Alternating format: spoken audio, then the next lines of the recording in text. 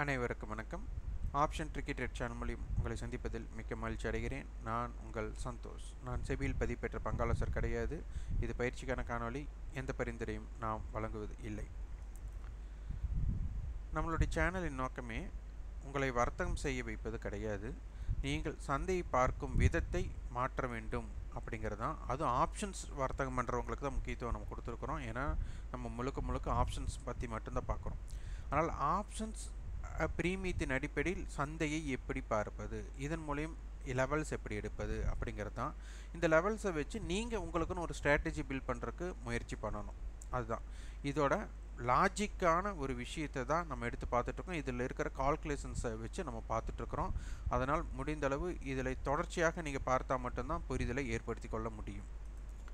இதற்குண்டான கட்டணமில்லா வகுப்பு அப்படிங்கிறது வந்துட்டு நம்மளுக்கு டிசம்பர் பதினேழாம் தேதி வந்துட்டு ஒரு மணி நேரம் இருக்க போகுது. டைம் மட்டும் நாங்கள் பின்னாடி சொல்கிறோம் இதனை பற்றி தகவல் அறிந்து கொள்ள வாட்ஸ்அப் செய்யுங்க. Nine eight four two six one zero nine zero eight இந்த நம்பருக்கு வந்து வாட்ஸ்அப் செய்யுங்க. இதற்கு கலந்து கொள்ள ஒரு எலிஜிபிள் பாயிண்ட் அப்படி அப்படின்னா எங்களிடம் டிமேட் அண்ட் ட்ரேடிங் அக்கௌண்ட் வந்து முன்பே துவங்கியிருக்கலாம் இல்லை இப்போவும் புதுசாக துவங்கலாம். எப்படி வேணாலும் பண்ணலாம். நீங்கள் வந்துட்டு பேஇன் பண்ணி ட்ரேடிங் பண்ண இமேஜை ஸ்க்ரீன்ஷாட்டை வந்துட்டு எங்களுக்கு பகிரணும். அப்போ தான் நீங்கள் வந்துட்டு இதில் கலந்து கொள்ள முடியும். அது எங்களுடைய ரெஃபரன்ஸ் லிங்க்கு கீழே ஓப்பன் பண்ணணும். விருப்பம் உள்ளவர்கள் பண்ணலாம். இது கட்டாயம் கிடையாது. உங்களுடைய விருப்பம். ஓகே காணொலிக்குள்ளே போகலாம் சந்தையை வந்துட்டு நமக்கு வந்து போட்டியாளர்களை முதல் நம்ம பார்க்கணும். அந்த போட்டியாளர்களை நம்ம வந்துட்டு மொல் ப்ரீவியஸ் க்ளோஸை பேஸ் பண்ணி நம்ம பார்க்குறோம். இந்த பேஸ்டுக்கு நீங்கள் open yesterday high yesterday low இந்த மாதிரி இருக்கிறவங்களே நீங்கள் லெவல்ஸ் எடுத்து நீங்கள் செக் பண்ணிவிட்டு வந்தால் உங்களுக்கு நிறைய விஷயங்கள் உங்களால் புரிஞ்சுக்க முடியும். வாங்க இப்படின்னு பார்க்கலாம். இப்போ வந்துட்டு நேற்றைய ஹை இருபத்தி நாலு எட்நூற்றம்பத்தேழு லோ வந்துட்டு இருபத்தி நாலு இரநூத்தி தொண்ணூத்தஞ்சு இது வந்து ஸ்பாட் பேசிஸில் ஆனால் ஆப்ஷன் ப்ரீமியம் பேஸ்டு இருந்ததுன்னு சொல்லியிருக்கோம் ஃபியூச்சர் பேஸ் சொல்லியிருக்கோம். அப்போ ப்ரீமியம் வந்து கொஞ்சம் முன்ன பின்ன இருக்கும். அப்போ அதனால் அதற்கு தகுந்த மாதிரி நம்ம எடுத்து பார்க்கலாம். இப்போ நம்ம வந்து ப்ரீவியஸ் க்ளோஸ் பேஸ் பண்ணி நம்ம எடுக்கிறோம். நீங்கள் வந்துட்டு ஹை அந்த ஸ்ட்ரைக்குக்கு உண்டான லெவல்ஸை நீங்கள் எடுத்து நீங்கள் வந்து கமெண்ட் பாக்ஸில் பதிவு பண்ணுங்கள் எப்பவுமே உங்களுக்கு ஒரு ஒர்க் அவுட் கொடுத்தா தான் அந்த ஒர்க் அவுட் கொடுக்கும்போது நான் புரிஞ்சுக்க முடியும்.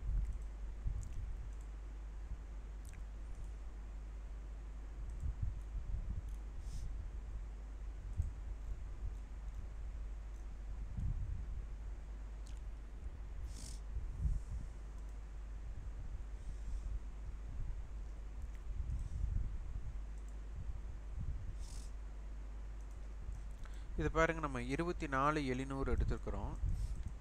இப்போது இன்னும் எக்ஸ்பெரிக்கு வந்து நம்மளுக்கு பன்னெண்டாந்தேதி எக்ஸ்பெரி ஆனால் எக்ஸ்பெரி நோக்கிய பயணம் அப்படிங்கிறது தான் இங்கே முக்கியமாக எடுத்து பார்க்கணும். லாஜிக்காக பார்த்தா இருபத்தி நாலாயிரத்தி எழுநூறு கால் ஐடியுமே இருக்கணும்னா மார்க்கெட் மேலே தான் இருக்கணும். இருபத்தி நாலாயிரத்தி எழுநூறுக்கு மேலே இருக்கணும். இருபத்தி நாலு எழுநூறு பொட்டு வந்துட்டு ஐடியுமே இருக்கணும் மார்க்கெட் இருபத்தி நாலு எழுநூறுக்கு கீழே இருக்கணும். இதுதான் லாஜிக் அப்போ ஐடிஎம் ஆப்ஷனுக்கு மட்டும்தான் மதிப்பு இருக்கும் அப்படிங்கிறது தெரியும். எப்போனா எக்ஸ்பைரி பேஸ் பண்ணி. அப்போது இந்த இரநூத்தி பதிமூன்று ரூபாய் அப்படின்னு கொடுத்தாச்சுன்னா கண்டிப்பாக இந்த இரநூத்தி பதிமூன்று ரூபாய் இருக்கணும்னா ஸ்பாட் வந்து இருபத்தி நாலாயிரத்தி தொள்ளாயிரத்தி பதிமூணு அப்படிங்கிற இடத்துல முடிஞ்சால் இதுக்கு காஸ்ட்டாக இருக்கும். இதே புட் ஆப்ஷன் இரநூத்தி இருபத்தி ரெண்டு அப்படின்னா இருபத்தி நான்காயிரத்தி நானூற்றி எழுபத்தி எட்டு அதனால தான் இந்த ஜோன்குள்ளே இருக்கிற வர பிரேக் அவுட் ஜோன் கிடையாது. இது வந்து வால்டைல் ஜோன் இதுக்குள்ளே இடையில இருக்கக்கூடிய எஸ்டர்டே ஹை எஸ்டர்டே தான் நம்மளுக்கு ரொம்ப ரொம்ப முக்கியம். அடுத்தது நம்மளுக்கு இவங்களுடைய ஹை இருபத்தி நாலு எழுநூறு காலுடைய ஹை முந்நூற்றி முப்பத்தொரு ரூபா. அப்போ என்ன அர்த்தம்? இருபத்தி அஞ்சாயிரத்தி முப்பத்தி ஒன்று இப்போது இருபத்தி நாலாயிரத்தி எழுநூறு கால் நம்மளுக்கு இந்த முந்நூற்றி முப்பத்தொன்று கடக்கவே இல்லை அப்படின்னா நம்ம மார்க்கெட் வந்து இருபத்தஞ்சாயிரத்தி முப்பத்தொன்று தாண்டவே தாண்டாது அப்படின்னு நம்ம எடுத்துக்கலாம். அந்த அளவுக்கு இதற்கு வீரியம். இது நானூற்றி எண்பத்தஞ்சு ரூபா ஐநூறுன்னு வச்சுட்டா இருபத்தி நாலு இரநூறு. இப்போ இருபத்தி நாலு எழுநூறு புட் ஆப்ஷன் இந்த ஐநூறு ரூபாயை கடக்கவில்லை எனில் மார்க்கெட் எதற்கு கீழே போகாதுன்னா இருபத்தி நாலு இரநூறுக்கு கீழே போகாது.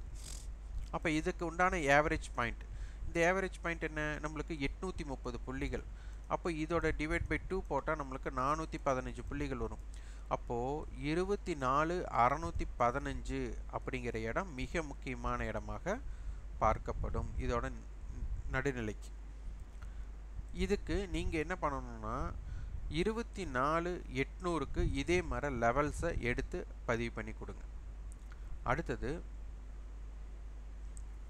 மார்க்கெட்டில் கொஞ்சம் சுறுசுறுப்பாக இல்லை அதிரடியாக எப்படி இருக்க போகிறாங்க அப்படின்னு பார்க்கணும். அதற்கு நம்மளுக்கு உகந்ததாக இருக்க போகிறது வந்துட்டு டைம் வேல்யூம் இம்ப்ளைடு வாலட்டிலிட்டி என்ன இருக்குது அப்படின்னு பார்த்துக்கோங்க. இப்போ நம்மளுக்கு ஏடிஎம் மீட்டிங் பாயிண்ட் இரநூத்தி பத்து இரநூத்தி இருபது இருக்குது இரநூத்தி பத்து ரூபாய் இருக்குது இந்த இரநூத்தி பத்து நம்மளுக்கு ஜீரோ ஆகணும் எப்போ? எக்ஸ்பெரியில் அப்போ இது இது அப்படியே கட் ஆகிட்டே வரும். அதுதான் டிகே இது நல்லா புரிஞ்சுக்கணும். டிகேவை புரிஞ்சுக்கணும். இப்போ டைம் வேல்யூ இருபத்தி நாலாயிரத்தி எழுநூறு மார்க்கெட் இருக்கனால இருபத்தி நாலாயிரத்தி அறநூற்றம்பது டு எழுநூற்றம்பது டைம் வேல்யூ என்னன்னு பார்த்துக்கலாம். இது நூறு பாயிண்ட் தான் இருக்கணும். இவங்க எவ்வளோ இருக்காங்க? இரநூத்தம்பத்தி நாலு ரூபா இவங்க ஒருத்தரே இருக்கிறாங்க. இவங்க இரநூத்தி நாற்பத்தி நாலு பார்த்தீங்களா இதுதான் மீட்டிங் பாயிண்ட் இந்த ஒரே விலை நம்மளுக்கு இருக்கிறாங்க. பக்கத்தில். அப்போ எட்டு ஒம்பது நானூற்றி தொண்ணூத்தெட்டு நூறுரூவாயை கழிச்சிட்டா முந்நூற்றி தொண்ணூத்தெட்டு இருக்கும். டைம் வேல்யூ இவ்வளோ இருக்குது நூறு பாயிண்ட்டுக்குள்ளே இது பாருங்கள் நூற்றி தொண்ணூத்தெட்டு இவங்க வந்து நூற்றி தொண்ணூற்றி ஒன்று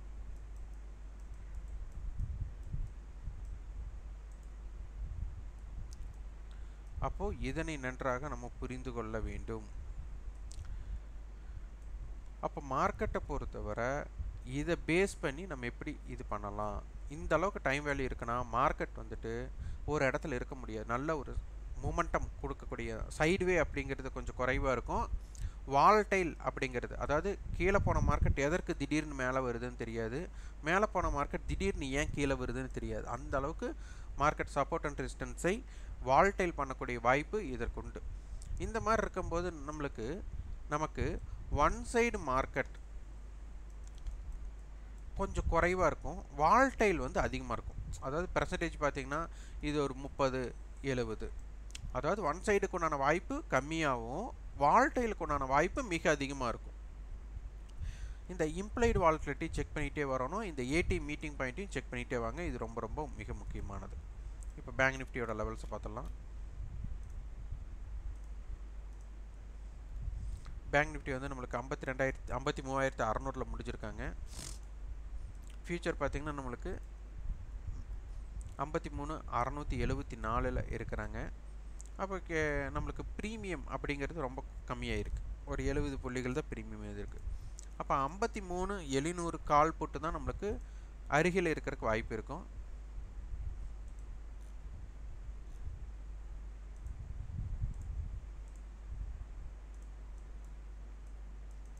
ஐம்பத்தி மூணு எழுநூறு. பார்த்தீங்கன்னா எழுநூற்றம்பது எழுநூற்றி எழுபத்தி ஏழு அப்போ ஏடிஎம்மோட மீட்டிங் பாயிண்ட் பார்த்திங்கன்னா ஒரு எழுநூற்றி அறுபது அறுபத்தஞ்சு ரூபாயில் இருக்க போகுது. இது ரெண்டு பேர்த்தோட ஹை நம்மளுக்கு முக்கியம். இது ஆயிரத்தி நூற்றி எழுபது ஆயிரத்தி இரநூறுன்னு வச்சுட்டா ஐம்பத்தி ரெண்டு ஐநூறு. இவங்க தொள்ளாயிரம் ரூபாய் அப்படின்னு வச்சுட்டா ஐம்பத்தி நாலு அறநூறு.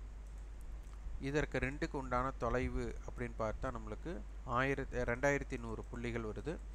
இந்த ரெண்டாயிரத்தி நூறு புள்ளிகள்னால் ஆயிரத்தி ஐம்பது ஆவரேஜ் அப்போது ஐம்பத்தி மூவாயிரத்தி ஐம்ப ஐநூற்றி ஐம்பது அப்படிங்கிற இடம் மிக முக்கியமான இடமாக பார்க்கப்படுகிறது. ரெண்டு பேர்த்தோட க்ளோசிங்குமே எட்நூறுபாய் அப்படின்னு வச்சுட்டா ஐம்பத்தி நாலு ஐநூறு ஐம்பத்தி ரெண்டு தொள்ளாயிரம். இது ஒரு இம்பேக்டட் ஜோனாக பார்க்கப்படுகிறது. இம்ப்ளைட் வால்ட்டி கொஞ்சம் அதிகமாக தான் இருக்கிறக்கு வாய்ப்பு பார்க்கலாம். Imbalanced implied volatility. Imbalanced implied volatility இருக்கும்போது மூமெண்ட் இருக்கிறதுக்குண்டான வாய்ப்புகள் அதிகமாக இருக்குது இந்த இம்பேலன்ஸ்டு இம்ப்ளைட் வாலிட்டி இருக்கும்போது இம்ப்ளைட் வாலிட்டி ஜாஸ்தியாக இருக்கிறவங்க சைடு வந்துட்டு இம்பேக்ட் பண்ணும் அப்படின்னு இல்லை. இது யார் ப்ரீவியஸ் க்ளோஸுக்கு மேலே இருக்கிறா கீழே இருக்கிறா அப்படிங்கிற அடிப்படையில் முடியும். ஆப்ஷன்ஸ் செல்லரை பொறுத்தவரை டைம் வேல்யூ அதிகமாக இருக்கிறவங்கள தான் அவங்க என்ன பண்ணுவாங்கன்னா செல் அடிக்கிறதுக்கு முற்படுவாங்க. டைம் வேல்யூ கம்மியாக இருக்கிறவங்க செல் அடித்து அவங்களுக்கு பிரயோஜனம் இல்லை அப்போ இதை வந்து கவரிங் பேஸ்ட்லேயும் நீங்கள் வந்துட்டு பார்க்க ஆரம்பிக்கணும். இது ரொம்ப ரொம்ப முக்கியம். இந்த காணொலி உங்களுக்கு பயனுள்ளதாக இருந்தால் லைக் பண்ணுங்கள் ஷேர் பண்ணுங்கள் சப்ஸ்கிரைப் கண்டிப்பாக உங்கள் ஃபீட்பேக் கமெண்ட் பாக்ஸில் பதிவு பண்ணுங்கள் நன்றி வணக்கம்.